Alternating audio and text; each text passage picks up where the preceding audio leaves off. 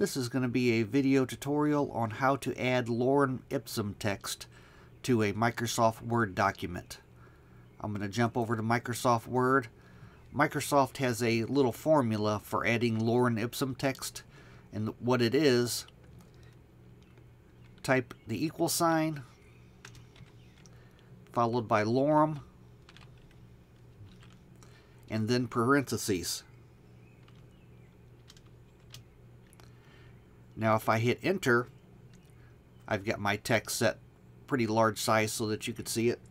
If I hit enter, it just gives some random lorem ipsum text. I'm going to press Control Z to back up. And between these parentheses here, you can specify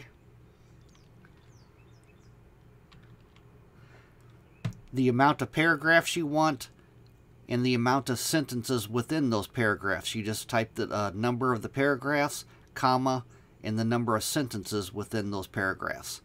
Like, for instance, if I want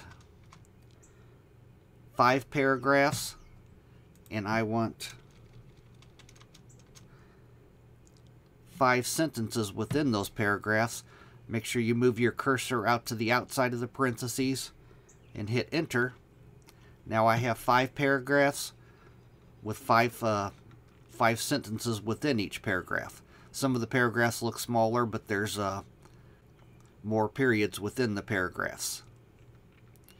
But that's the formula to uh, create lorem ipsum text. You could type it without the uh, with the empty parentheses in order to just give you random lorem ipsum text, or you could specify how many paragraphs you want and how many uh, sentences you want in those paragraphs. That's it. Thanks for watching.